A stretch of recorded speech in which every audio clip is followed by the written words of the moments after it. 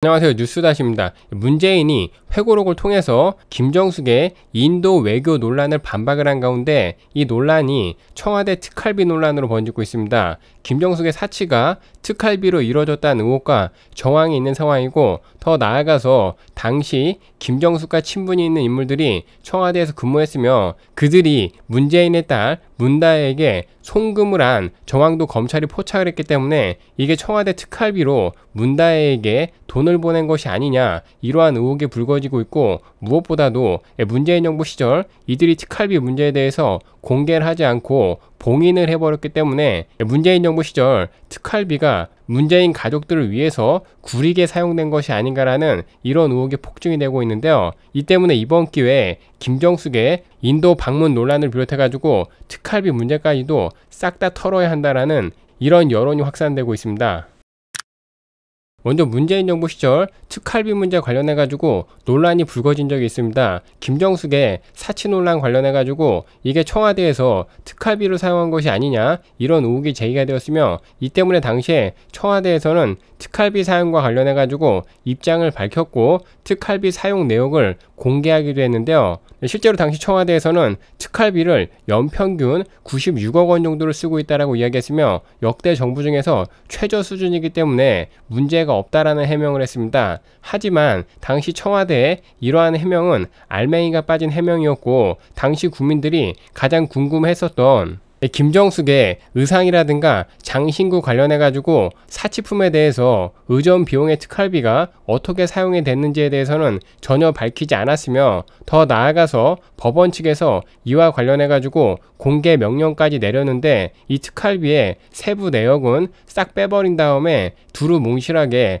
특활비 사용 내역을 밝혔습니다. 이 때문에 김정숙의 사치가 특활비로 이루어졌다는 의혹은 더욱더 불거졌으며 그 후에는 문재인 정부에서 특활비 사용 내역을 봉인을 해가지고 대통령 기록관으로 보내버리는 바람에 현재 시점에서는 문재인 정부 시절 특활비가 어떻게 사용이 되었는지 그 자세한 내용은 알 수가 없는 상황이 되었는데요. 하지만 그럼에도 불구하고 김정숙이 특활비로 사치를 한 듯한 정황은 차고 넘치며 가장 대표적인 게 김정숙의 옷값이라든가 신발 등의 뭐 이러한 비용들이 관봉권으로 결제가 된 것은 확인이 되었습니다. 관봉권이라는 것은 일반인들이 보기 힘든 돈으로서 관봉은 말 그대로 과거 관청에서 서류에다가 도장을 찍어서 밀봉하던 데서 유래한 용어이고 조폐공사는 한국은행에 신권을 보낼 때 액수와 화폐 상태에 이상이 없음을 보증하는 의미로 십자 형태의 띠를 두르고 비닐로 싸는데 이것을 현재 관봉이라고 부르고 있습니다.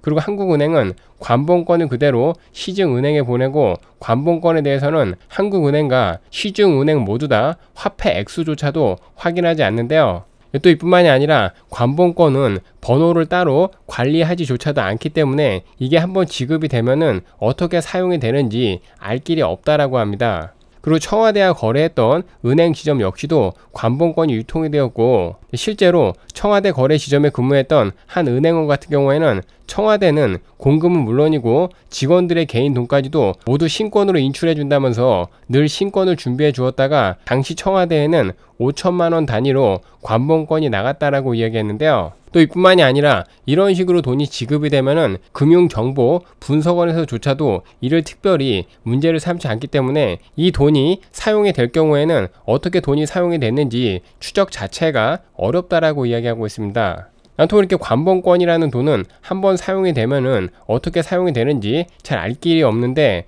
특활비로 지급이 된 이 관봉권이 김정숙의 사치에 쓰였다라는 이런 정황이 있고 과거의 기사를 살펴보면은 김정숙 같은 경우에는 한 번에 옷을 살 때 고가의 한복 6벌이라든가 맞춤형 구두 뭐 이런 것들을 열몇 켤레씩 산 것으로 알려졌습니다. 네, 그리고 이 비용을 지불을 할 때 전액 5만원권을 동행한 보좌진이 지불을 했고 당시에 이들에게 결제를 받은 한 직원이 언론에 제보를 하고 자료를 공개한 적이 있는데 당시에 확인된 자료에 따르면은 이거는 명백하게 관봉권으로 보인다는 게 중론인데요. 그리고 이 말은 사실상 김정숙이 당시 옷이라든가 악세사리를 특활비로 샀다라고 밖에는 볼 수가 없는 뭐 그런 정황입니다. 나도 김정숙과 관련된 논란 중에서 이 특활비로 사치를 했다는 논란이 가장 치명타 중의 하나인데 이번에 발작을 하면서 회고록을 쓴 문재인 같은 경우에는 자기 와이프의 인도 방문에 대해서는 이를 갈면서 영부인의 첫 번째 단독 외교내 보내 뭐 이런 식으로 해명을 하고 쉴드를 쳤는데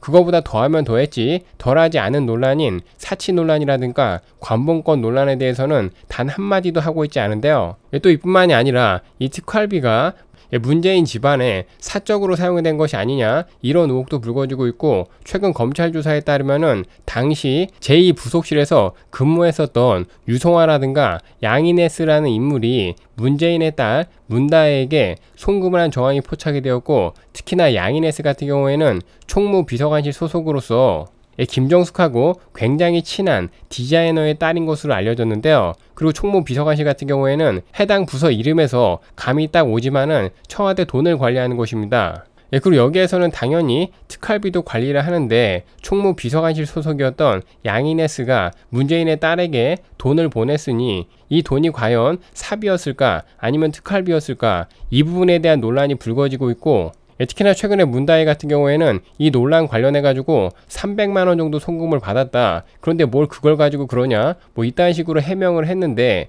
이 말 자체가 문다혜 본인 스스로가 돈을 송금 받았다라는 것을 인정한 꼴이며 문다혜 같은 경우에는 겨우 돈 300만 원 가지고 뭘 그러냐? 이런 식으로 이야기했지만 나라돈 같은 경우에는 이게 300만 원이라는 금액이 중요한 게 아니라 10원이라도 그게 특할비였다면은 그리고 그것이 부적절하게 문다에게 송금이 되어서 그거를 사적인 용도로 사용을 했다면은 이거 자체가 굉장히 문제가 될 수 있는 소지입니다. 또 이뿐만이 아니라 문다에는 이 작은 돈 때문에 뭐가 문제가 되겠는가라고 이야기하고 있지만 검찰 수사라는 것이 뭐 이런 작은 거를 수사하다가 거대한 본류가 드러나는 경우가 태반이기 때문에 문다에가 이 300만 원 가지고 왜 그러냐 이런 식으로 비아냥거리면서 사실상 특활비를 송금을 받았다라고 인정을 하는 듯한 저런 태도를 취한 것은 오히려 문재인 정부 시절 청와대 특활비 사용 목록에 대해서 확인해야 된다라는 이런 정치권이라든가 국민 여론에 불을 붙이는 행태가 될 수밖에 없는데요.